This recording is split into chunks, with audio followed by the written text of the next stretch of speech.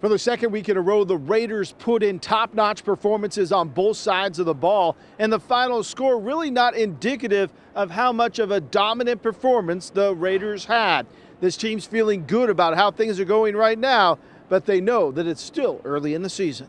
I think with the injuries, with everything our team's been through, um, this bye week couldn't come at a better time, especially with the way we talked about it. You know, when when everything happens, like guys, we're gonna we have to be five and two at the bye.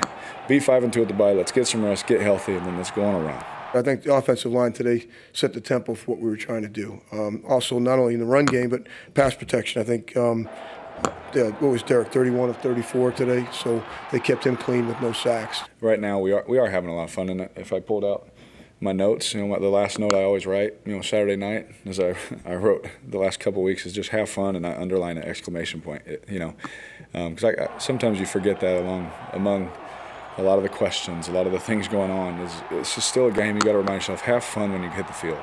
The Raiders now head into the bye week 5 and 2 and alone atop the AFC West. And interim head coach Rich Bisaccia going to give them all the entire week off. They don't have to come back into the facility for practice until next Monday when they'll start preparing for a trip back east to take on the New York Giants. At Allegiant Stadium, Kevin Mulliner, Fox 5 News Local, Las Vegas.